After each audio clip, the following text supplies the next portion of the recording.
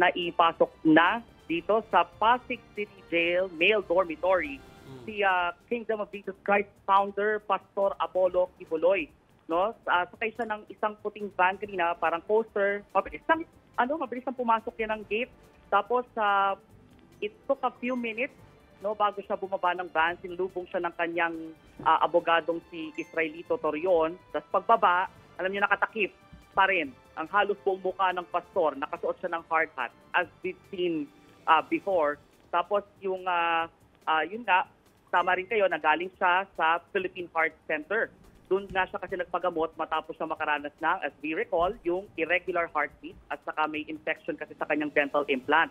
So, kaya sa pinagbigyan ng medical furlough ah, ng Pasig City Court, ah, from November 9, dapat November 16, ita-transfer na siya. Pabalik sa sa kulungan. But ah, dahil kailangan niya magpa-test, so na-extend yon until today, November 27, nag-expire na yung medical furlough at ah, na, actually nakapag-apela pa nga yung ah, kampo ni ah, Kibuloy kahapon, no? Questioning yung order transferring him to the Pasig City Jail. Pero kaya natuloy yung transfer niya rito is because pending pa rin yung motion for reconsideration dahil ah, wala yung presiding judge nasa ibang bansa. Ah, so in short, dahil pending ang MR, ang, ang motion for reconsideration, it's ah, good as saying na tuloy pa rin ang ah, transfer. So wala kasing walang action yung ah, appeal. Ah, and then ah, ang sabi ng ab- abogado ni ah, ah, Pastor Apollo Kibuloy na si ah, Attorney Torion ay ah, mentally prepared na sila sa ganitong possibility. Na, na- meaning nasa ospital pa lang, uh, inaiisip na nila nakita na nila na maaaring mangyari ito nga na malipat siya sa Pasig City Jail uh, especially raw na hindi pabor sa kanila yung political atmosphere. And uh, of course, nga, um, again, anchoring on yung pagiging uh, televangelist uh, ni, ni Pastor Kibuloy. Ang sabi nga eh, uh, kung eh, maaring will of the Father daw itong uh, pagkakalipat sa kanya dito sa Pasig City Jail. Uh, and uh, again, yun nga, mentally prepared naman daw at resilient at fighting ang pastor. Balik sa inyo.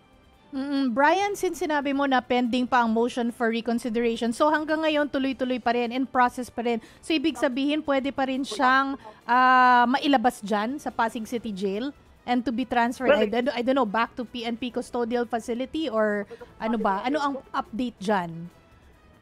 Well, as yun uh, as far as is concerned and uh, yun, yun lang din naman ang sinabi nga ni uh, Atty. Torion ay pending. Uh, Mm. Meaning nakabinbin at uh, walang aksyon. No? But uh, of course, kung uh, yan nga ay maaksyonan um, uh, ng korte, then there is that possibility. But again, we'll have to wait uh, for the court to decide no if if if uh, this will uh, if this will fly kaso nga dahil nga nalipat na siya dito sa uh, Pasig City Jail so we'll see what's gonna happen talaga uh, wait and see tayo lalo na sa pagkilos ngayon ng Pasig City Court Mm. I don't know kung meron ka rin natanong dyan na Brian no, sa Pasig City Jail kasi sabi nila no special treatment daw. So pag sinabing no special treatment, ano yung proseso pagtanggap nitong si ah, Pastor Apollo Kibuloy? Kasi 'di ba may process yan bago ipasok, 'di ba mismo sa kanyang ah, I don't know jail cell. And ano yung sitwasyon mismo dun sa male dormitory? Okay, tama, Chiki. May prosesong sinusunod. Ang tawag ay commitment procedure. Ah, dahil nga ipapasok sa kulungan sa Pasig City Jail itong si Pastor Kibuloy. According to the spokesperson ng BJMP NCR, ah, si ah, Jail Senior Inspector Princess ah, Miguel ay ah, dumaan siya sa medical examination, may fingerprinting, may pagkuha ng mugshot, Ah, and of course, dahil siya ay ma- makukulong, mag, ididitine ito, uh, isusurrender niya yung kanyang mga gamit, no? At uh, magsusuot siya yung dilaw na t-shirt, no? Ah, katulad ng sa ibang inmates. Magkakaroon din siya ng parang detainee's number dito sa loob ng ah, ng ah, facility.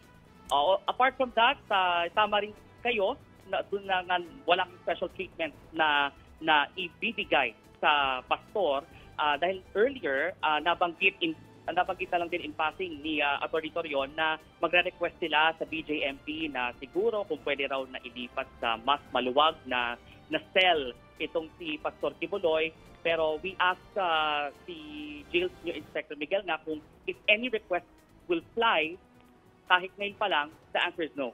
No? Dahil nga, no special treatment Ang gusto nila ay pantay na pagtrato sa lahat ng mga ah, nakakulong sa kanilang ah, pasilidad. Pero tinitiyak naman ah, ni, ah, ni, ni Miguel o ng BJMP na sapat ang ah, seguridad sa loob, sapat din ang ventilation para makahinga-hinga ang mga inmates sa loob kasama na ah, kasama na riyan ang pastor. Ah, so ang mangyayari after nung commitment procedure, ah, he will stay in what they call a classification cell. Hmm. So cell siya, hindi siya kwarto ah, for two weeks para maklasify kung saan siyang kung saan siya lilipat, kung saan siyang cell isasama. Oo, kasi di ba Mm. ah yan may for sure meron yung classification sa loob, perhaps may kaso or ah, kung ano man yung itinakda ng BJMP pero ah, yun ang sabi nila ah, for two weeks mananatili muna sa classification cell na, na magiging holding area ng pastor. Ah, doon na rin makakapaghanda si Kibuloy sa buhay sa loob ng Celta. Mm, So after last na lang, weeks, yes, Oo, yes. Last na lang Brian, no, kasi hindi tayo masyadong familiar sa legal process. Pero kailan ang trial? Kailan magsimula ang trial? Ni Kibuloy, no for yet. Kibuloy and the co-accused. Oo, ah no word yet from the ano babalikan natin si ah, ah, Attorney Torion tungkol diyan. Um, medyo ah, wala siyang nabanggit kanina dun sa interview nung pagdating niya rito. Ah, the the reactions kanina were more on the immediate yung immediate ah, thought nung pagka, nung paglipat nga ngayon ni ah, ni Pastor Apollo Kibuloy. And again, dahil na nasa abroad pa yung judge, so mukhang ah, it will take a while bago bago matuloy yung pagdinig na yan.